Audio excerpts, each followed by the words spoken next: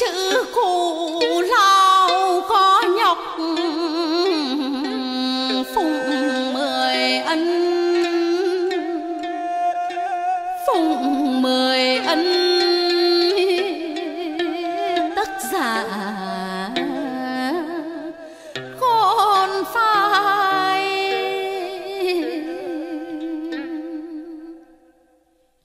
Mẹ mới có thai kể từ một ân thì con ơi mẹ, mới có thai, âm dương là âm dương nhị ký ơi nào ai biết gì ở trong lòng thì con ơi luôn những sầu đi ruột gan chua xót. Nỗi khi vơi đầy, sang đến hai ân thì con ơi mẹ chịu bấy chay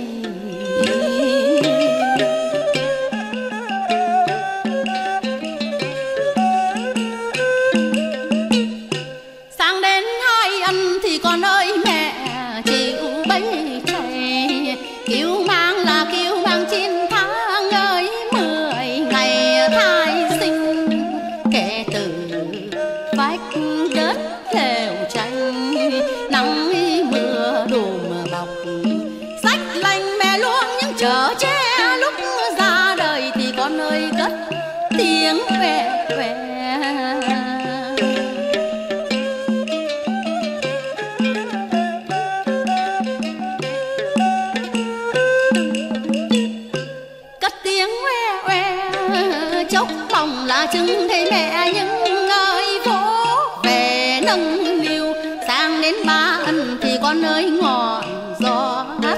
Yêu thân gầy sữa cạn mẹ chắc đi chịu mỏi mòn.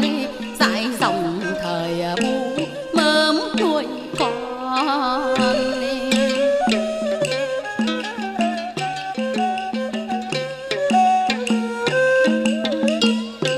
Bu mớm nuôi con, bốn ân là chừng sợ thôn đi về. Kể từ hạt gạo đồng kê tạo tần là khi kia sớm ấy mấy mẹ lo về. Sau cháu con ăn sang đến năm ân thì con ơi đầm ấm chiều trăng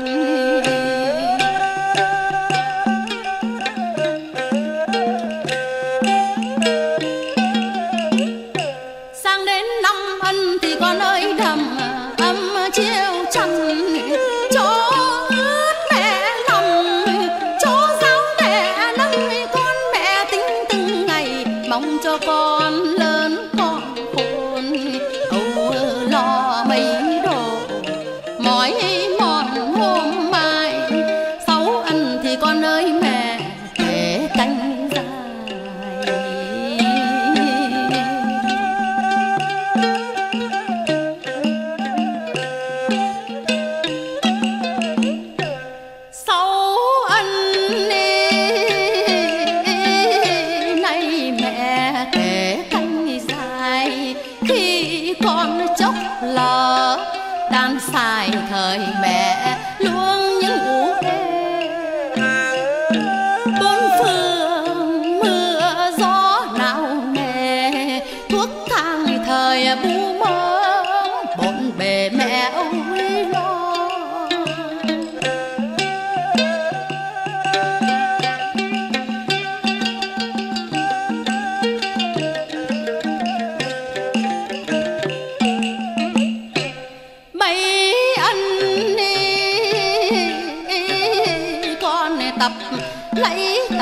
Bò đầu răng thì thời cuối lấy khúc khuỷu sông hồ thời già, héo khôn phơi.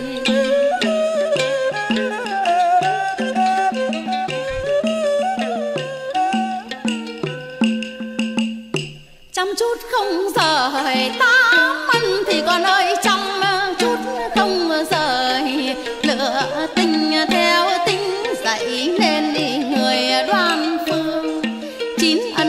nơi tách, ổ ra giàng học văn này học lễ chiếm bảng vàng, cành son mẹ lo bề xa thất cho con.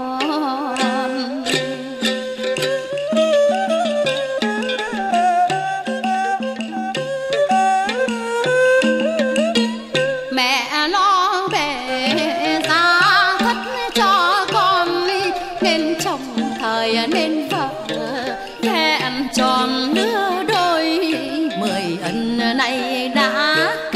rạch rồi âm dương này cách biệt còn thời có hay, đêm dài gang tấc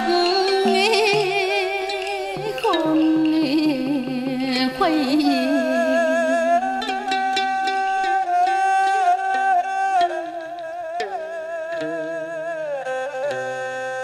chứ mười ân nay đã kể sạch